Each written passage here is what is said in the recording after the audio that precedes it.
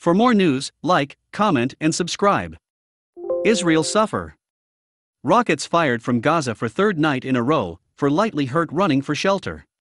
Iron Dome intercepts two of the five projectiles, Israel to restrict Gaza fishing zone in response to rockets as armed groups in coastal enclave continue to ramp up tensions. Terrorists in Gaza fired rockets toward Israel for the third night in a row on Sunday and early Monday, with the Iron Dome system intercepting two of the five projectiles. Four people, including a pregnant woman, were lightly wounded after falling while running to bomb shelters early Monday, medics said.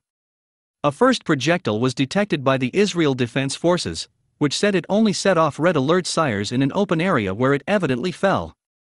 A second rocket landed inside Gaza near the security fence.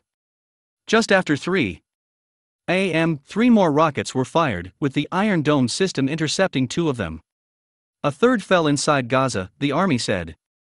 The launches came hours after the Gaza ruling Hamas issued a statement calling on our noble resistance in Gaza to keep their fingers on the trigger, to keep their rockets on standby to target the enemy's fortresses and military and vital structures.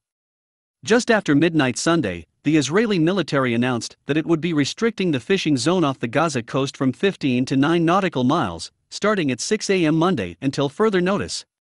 The decision was made in light of repeated terrorist acts from the Gaza Strip against the citizens of the State of Israel during the recent days, which constitute a violation of Israeli sovereignty, said a statement from the coordinator of government activities in the territories, which is the branch of the defense ministry responsible for liaising with the Palestinians. Hamas is held accountable for all that is done in and from the Gaza Strip towards Israel, and it will bear the consequences for the violence committed against the citizens of the State of Israel, the statement said. If you like this video, hit the notification button for more news. Thank you for watching.